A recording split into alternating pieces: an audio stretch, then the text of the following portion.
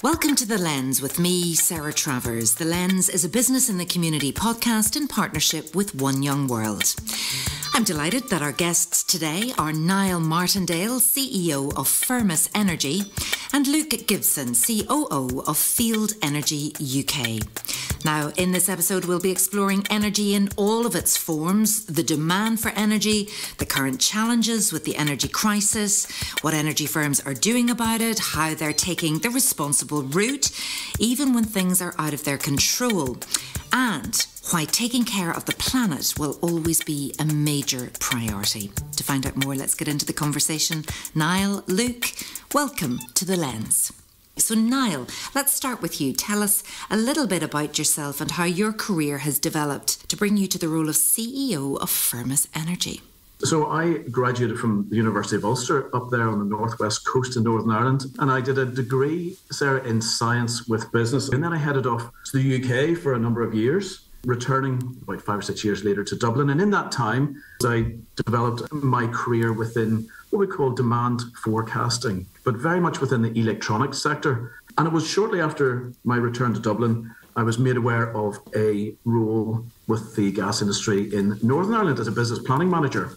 So, having come from electronics, where we're dealing with hundreds, if not thousands, of products on a daily basis, I thought gas, one product, how difficult can it be? So, I progressed through the gas industry and joined Firmus Energy uh, seven years ago, just over seven years ago at this stage, as director of regulation. And over the last year, I've been very, very proud to have taken the reins really at, at, what I believe to be a, a fantastic business. A really interesting journey for you. Just describe Firmus Energy then to those who are maybe not from Northern Ireland, which has a very different gas network and system than other parts of the UK. We are the only bundled natural gas business in Northern Ireland. We have a distribution arm and we have a supply retail arm. So on the distribution side, we dig up the roads and put in the pipe. And we put meters on the walls of homes and businesses, and that's 100% regulated.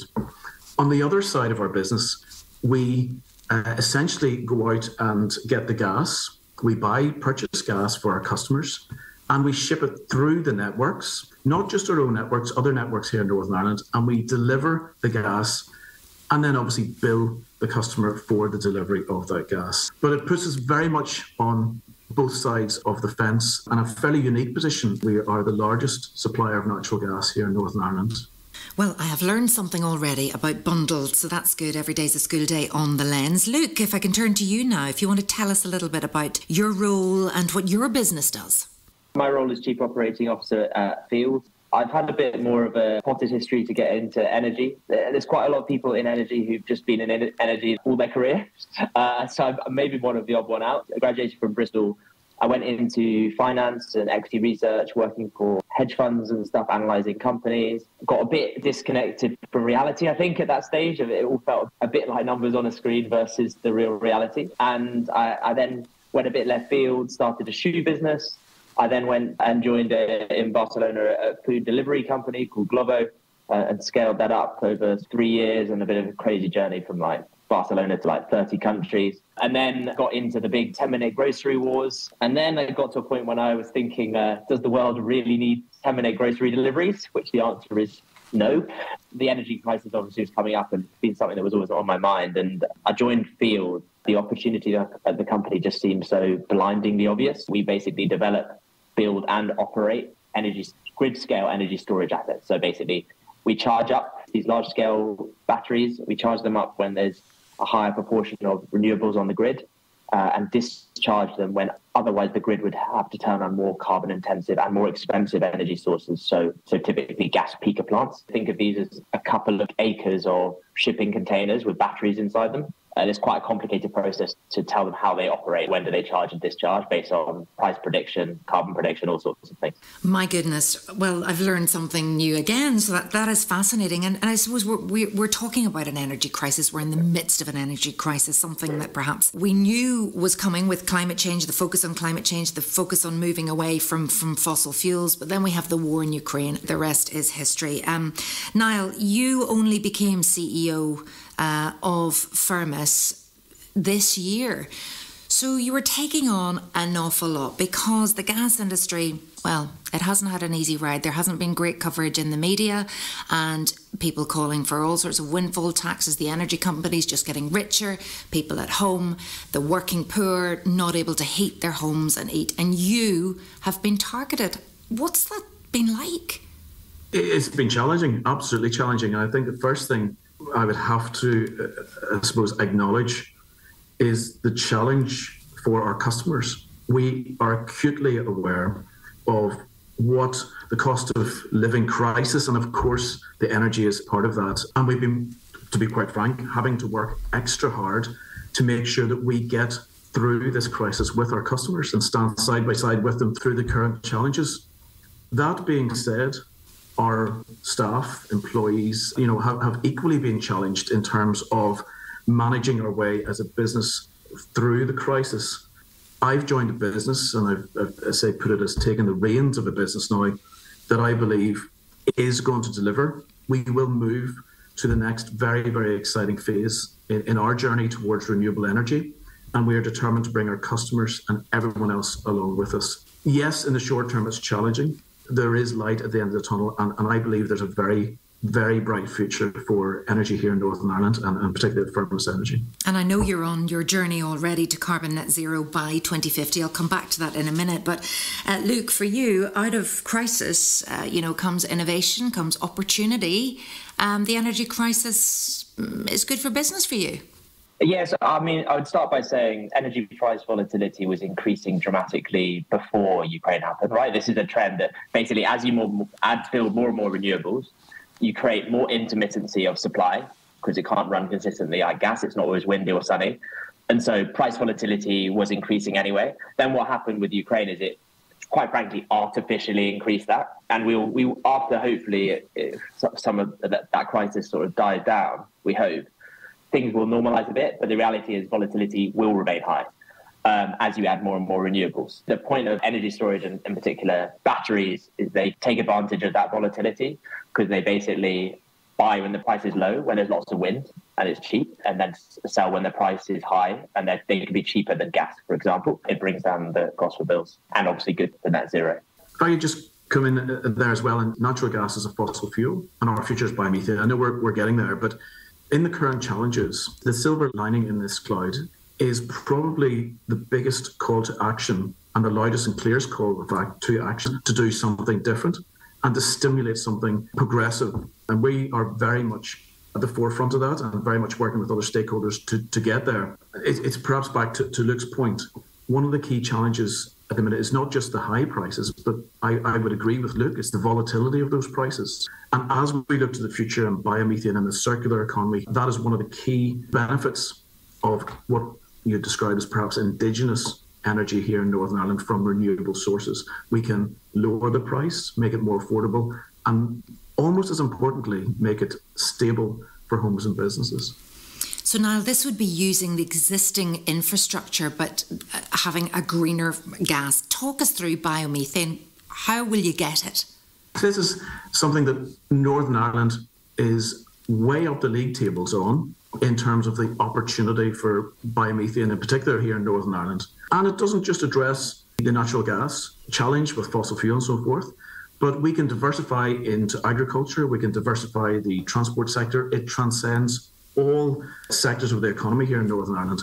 But the abundance of what we'd call feedstock to feed anaerobic digestion, to produce biomethane, is enormous. We have 83% of our gas demand residing in currently operating AD plants within 10 kilometres of our network.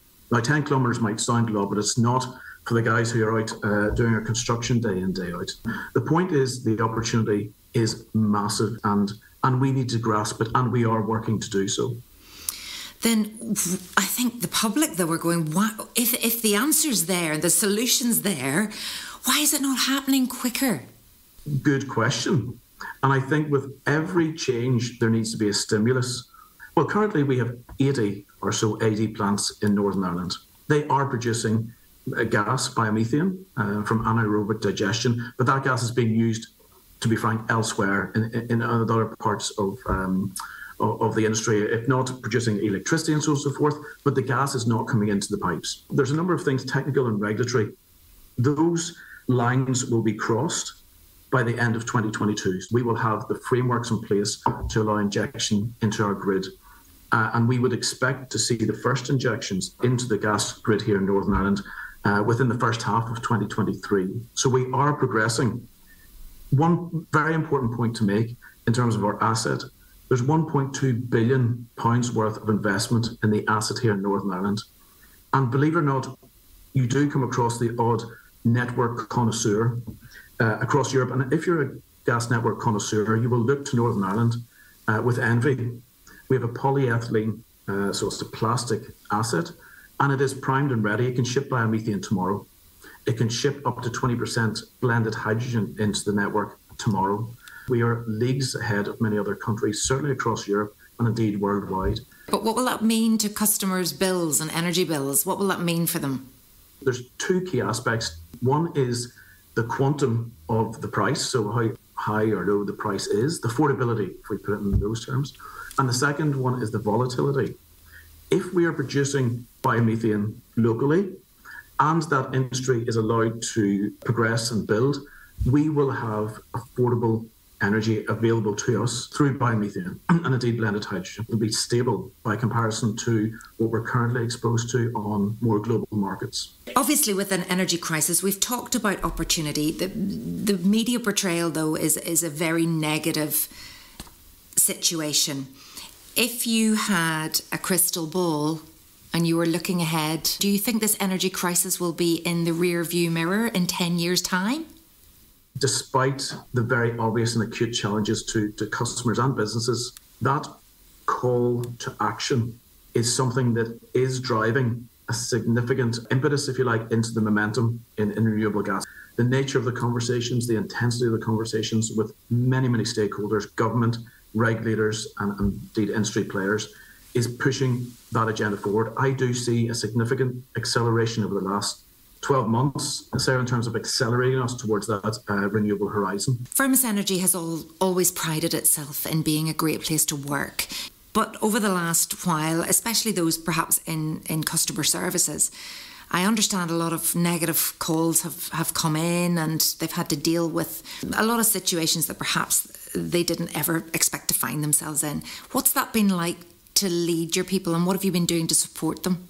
the nature of the calls that we've received over the last 12 months to, to 18 months are significantly more challenging. But having said that, understandably more challenging. And we've always taken huge pride in the service that we provide to customers. And that hasn't dipped whatsoever in the last 12 to 18 months. But we have had to take measures to, to shore that up. Communication is key. So we talk a lot to our staff and we encourage them to talk a lot to us but of course, then there's the more practical measures in terms of additional training. And that's training of two aspects. That one, for example, with mental health support for our staff. But number two, specialized training such as the topics of autism and dementia and financial vulnerability, of course, is, is a particular one at the moment. So we've upped the training, and that does two things. It ensures that when a customer uh, comes on a call with any of our staff, that they're going to get a, a particularly empathetic and informed customer service as best as we can provide that customer service. But what it also does is ensure that those people taking the calls on behalf of Firmus Energy are better placed to manage the call. The one last thing I would say is encourage positivity. Even within the challenging times, we do get, and, and you'd be surprised how many positive uh, comments and, and, and, bits and pieces of feedback that we get into the business and, and into me, particularly in terms of teams and individuals within the business. And we celebrate that uh, positivity. Let's talk more about net zero. Uh, the UK has committed to net zero by 2050. We've already mentioned that Firmus is, is, has that in its targets too. Let's find a little bit more about um, Field Energy UK then, Luke. What is your business doing to work towards that target? Are you attempting to get there sooner? Our last detailed life cycle assessment of one of our projects, it was we are saving 115,000 tons of carbon from from enter, entering the atmosphere over the next 20 years. That's for a 20 megawatt site. We have this effect of basically enabling renewables and displacing very, very carbon intensive gas usage. Mm-hmm. Now, having said that, if there was a way of storing that energy that was even less carbon intensive, then we would do that also. You still need to build the batteries, they still have a carbon impact. If you look at like the breakdown of the transportation cost, the construction cost, the cost in terms of carbon this is, uh, and then you look at the operations, the displacement effect dwarfs any of the other costs in terms of carbon. So gradually, looking at new and different and interesting energy storage technologies, whether that's uh, different types of flow batteries, compressed air solutions, all sorts of things. So lots of innovation ahead and, and more solutions to come. Niall, will you make 2050? Yes. Definitely. We will. Um, definitely we will. For us to sustain our business and to sustain customers in terms of what the, what customers are now expecting from us, it is renewable gas. Our whole strategy within Firmus Energy is driving us towards net zero carbon and being part of that delivery. Last December, the government here published their energy strategy and they recognised the critical role that the networks would play in supporting the overall delivery of net zero. Given that Firmus has been in the news so often about, you know, price hikes and gas, that sort of thing, are other people going to appear, other uh, organisations, other companies in competition with you, or what way do you see your future that way?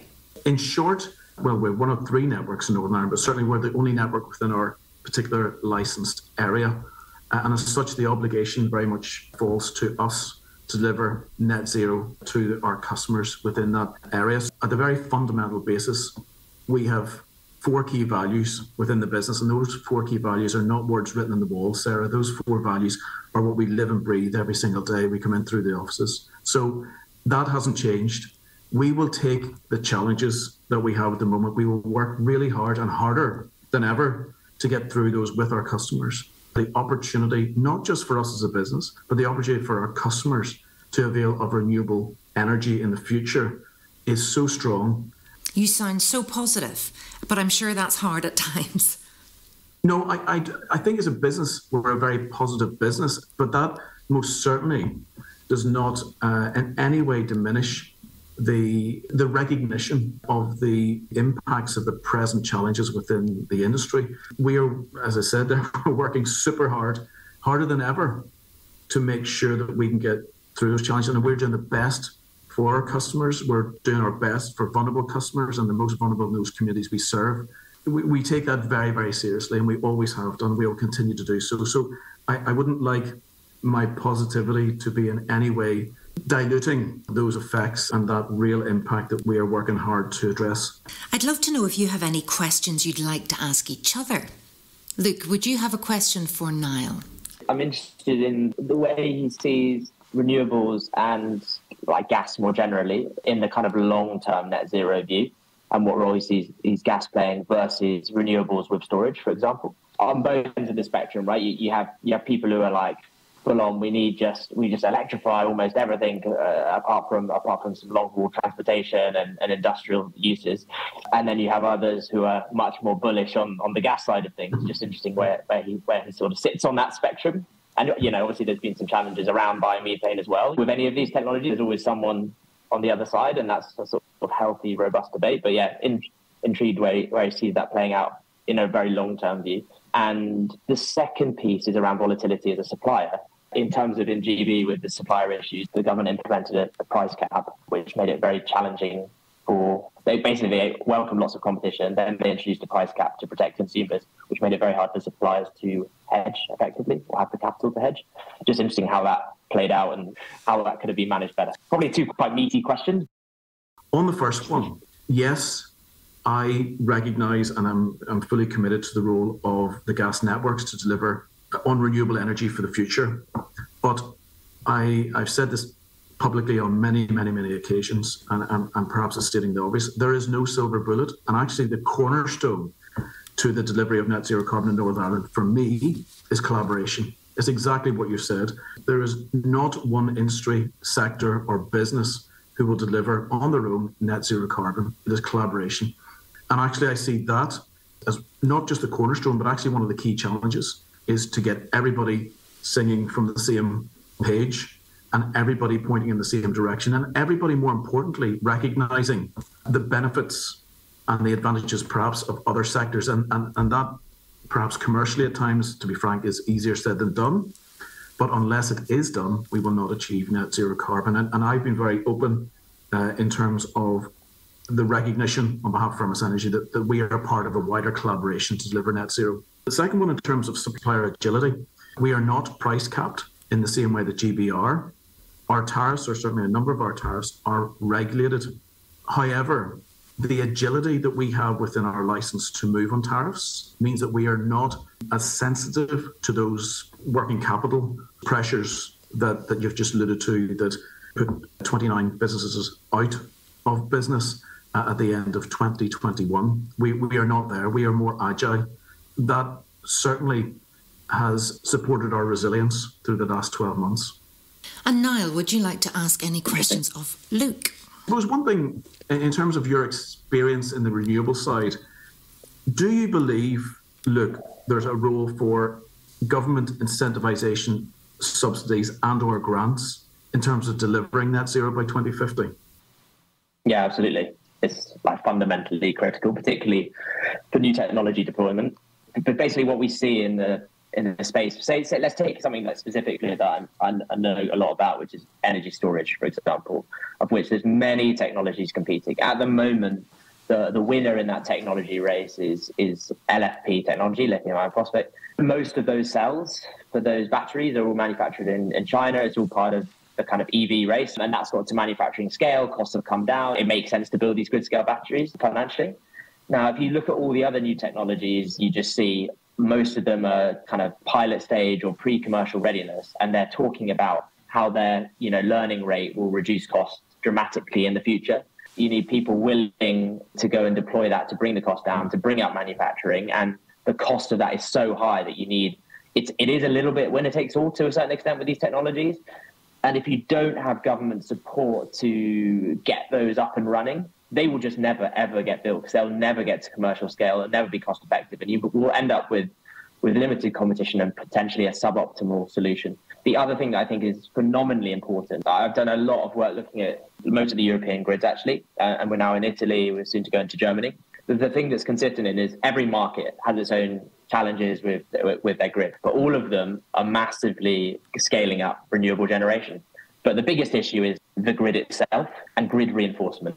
And essentially, battery storage is almost like a bit of a Swiss Army knife or a, a, essentially a sticky plaster uh, over actual grid reinforcement work, which is incredibly slow. And I think the biggest challenge is at the moment in some markets, the budget allocated to actual grid reinforcement works is linked to consumer bills. Somebody in government is not incentivized to go and put loads of money on a long term plan to reinforce the grid because it's very unpopular because it's yeah. going to bring up bills. I think it would be really, really valuable if that was taken out and put in general taxation.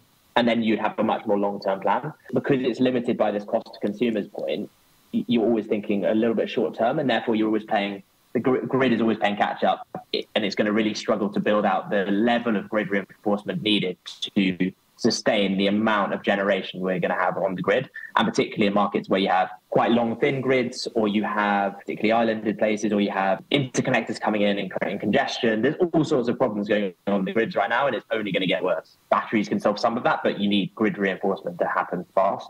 My biggest concern is private companies will be able to build out stuff, but the grid reinforcement is not private. The problem is can it operate as fast as private competition does? And I think that's the that's the sort of imbalance that I'm, maybe worries me more than anything. Mm. A real concern, yeah, I'm sure. Uh, Luke, I'd also love to hear about your experience of One Young World while we're on this podcast. Um, how did you get involved with mm. it, and what does being a One Young World ambassador mean for you personally? So yeah, I got involved maybe eight years ago. I was working for a, a charity uh, in the DRC, uh, and anyway, we were raising money out there and uh, supporting entrepreneurs basically out there. Somebody at One Young World then reached out, and then we ended up, or me and somebody else ended up going. The main takeaway was an overriding sense of enthusiasm and belief in people actually doing extraordinary things. I think that is tempered by practicality, but the enthusiasm is it's certainly very infectious. I would say it probably did change my mindset mindset at that point because at that point I was working at a corporate and I was very frustrated.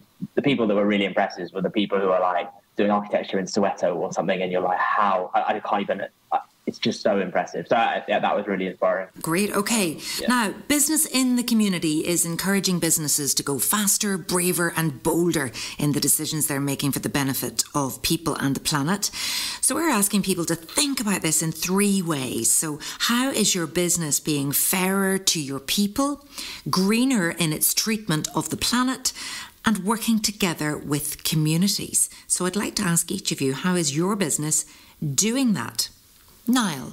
Our people are our greatest asset, and, and, and without them, well, we don't have a firmus and we don't have a, a network. We do invest in making sure that our people are trained to the best that they can be trained within the business, and that's a continual cycle.